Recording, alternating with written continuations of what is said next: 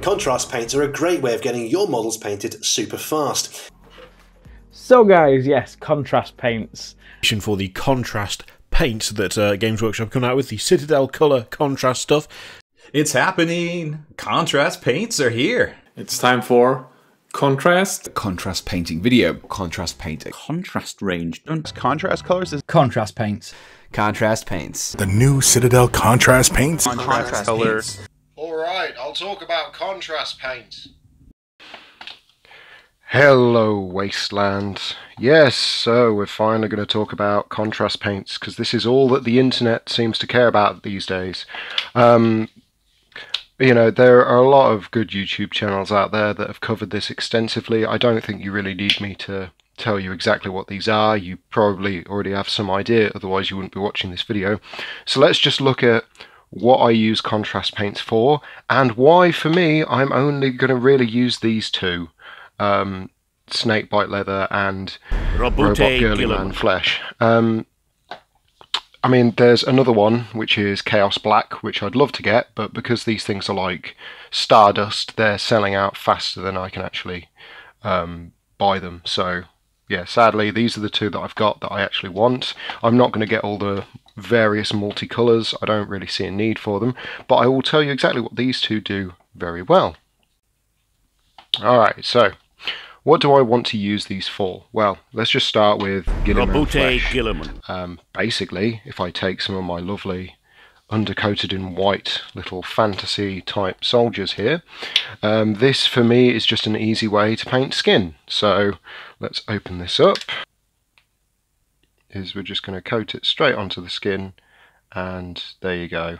This is basically what I want my contrast paint to do really. Let's do his hands as well, why not? For me, contrast paint is two things. It's a skin wash and something that I'm going to show you in a minute. So there you go, you see it's very easy to put on, as you all know, because you've been watching these videos for the last month, because this is all anyone's talking about. And uh, yeah, I mean, what else is there to say really? It goes on really easy, it basically feels like a wash. Um, there's not much else to really say about contrast paint that hasn't already been said. So, you know, what you see is what you get. So yeah, as you can see, goes on really easy. It feels so much like a wash, but it's totally not. Um, yeah, there you go. Wow, that was that was exciting. Alright, so let's have a look at the actual use of this stuff rather than painting little fantasy warriors. Because as nice as those are, those aren't Gaslands or anything post-apocalyptic. So, let's have a look at this rather nice car that I've got. So this is coming up in a video on Mad Car Miniatures. This is one of their sort of Polish prototype sports cars that I think wasn't released, but I could be wrong. Um, and what I'm going to do, you see this lovely great big skull that we've got on the uh, blower on top of the engine there? What I'm going to do, I'm going to make that look gold. And how am I going to do that? Well, I'm going to use snakebite leather. So this is super easy. This is basically what I think of the contrasts. I use them to cheat metal effects. So let's just make it so you can actually see this nicely. Where's the best angle? Probably not there. Probably there. Okay, so this skull here, I'm just going to bathe this on and it will immediately start to look like a bronzy, goldy colour. Now don't get me wrong, you don't want too much on these guys. Oh, you just slap it on, yeah. Yes, Games Workshop, because that's what you really want to be telling your players to do. Just, just cake that paint onto the model because it's a magic paint. There you go. So that's that's the use I see of contrast paints. Basically just adding details to models in a very quick and easy way. Um, I mean you can use this stuff as it says straight out of the tin and be like, oh, I want this guy's legs to be, you know, leathery. So you just go splash, splash, splash, and it will find all the cracks and do all the highlighting and blah blah blah. You've heard this all before. You know, I don't really know why you need to watch this video, but this is all anyone's talking about. It's like, oh, what do you think of the what do you think of the new contrast paints? Oh my god, they're so exciting. It's like, yeah, yeah, that's that's fair enough. It's a new toy. I can appreciate that.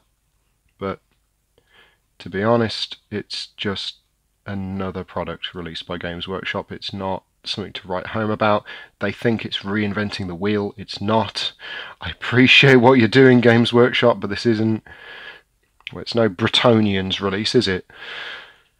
there you go. See? So yeah, so what do I use contrast paints for? Basically, for doing metal effects without having to pile up different layers of gold coloured paint. So previously what would have taken multiple steps to get this skull to look bronzy, goldy, brassy, you know, a nice nice yellowy browny colour is now just taking one step. And that, that's something I can get behind. You do it over a silver base coat and away you go. The detail is added and it looks rather nice and it blings out the car. But for everything else, like the skin on models, like it's, it's just, yeah, like I don't particularly care for the the other coloured contrast paints. Um, I don't particularly care for like the white contrast paint, which I think just does nothing. Um, but the snakebite leather to make gold and the flesh tone to just immediately put skin on a model, yeah, I'm I'm fine with that. Like those for me are what I need it to do, and there you go. So I don't think a video really needs to be done on this, but people have been asking, so here we are.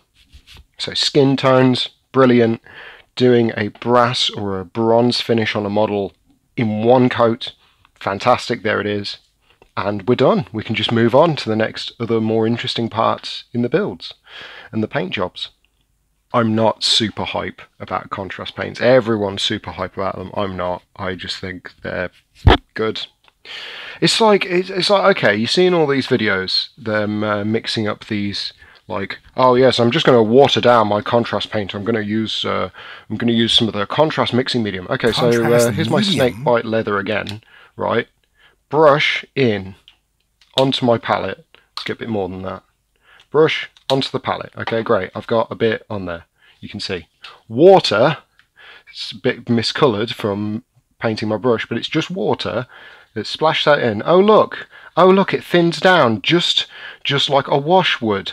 Oh, what's this contrast medium? Contrast Is it just bottled medium. water? You tell me it might be something special. Oh, it's ionized water. Oh, it's special magic water. So they're clearly not using water because you've told told us that they uh, they don't work well with water. Oh, mixing it with contrast medium. But to be honest, if I can just do this, what's the point in in them selling an additional product?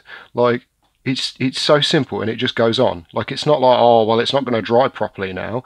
No, it's going to dry absolutely fine because you can water this stuff down absolutely fine. And no one seems to talk about that and I don't know why. Everyone's like going, "Oh yes, well contrast, contrast medium is so important. Medium. I can't wait for them to release it." Why? You can just mix it with water. Like it's not it's there's no there's no difference there. It's not like, oh my god, now this bit isn't going to dry as well as this bit. Like, no, it's going to dry just the same. It doesn't make any sense to me. Am I missing something? It's like on this guy, okay, so I've got the sort of steely chainmail armour there. As you can see, I'm going to put some of this watered down contrast, contrast paint on. Oh no, it's not going to dry properly now. Of course it is. It's it's everything Games Workshop makes is water soluble. I don't get why people are buying these contrast medium, contrast medium, watered down pots. It's just look, I've mixed it with water and it goes on fine. What am I missing? Is there some special alchemical ingredient? Because I don't think there is. Like that's that's perfectly fine. I don't I don't see it.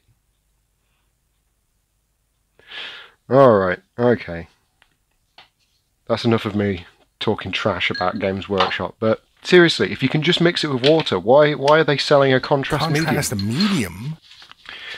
But all right, let's uh, let's wrap this video up. So yes, um, I'll be having that uh, competition updated soon, and I'll also be getting ready to give away those free cars. Don't worry, the video is coming. It's just time. Mad Cars video is coming out soon. Keep an eye out for that. And yes, there will be a discount code for that as well, but we'll have to wait until that video comes out. Yeah. Um, thank you for watching Wasteland, and goodbye. This is Contrast Paints. Robute Guilliman.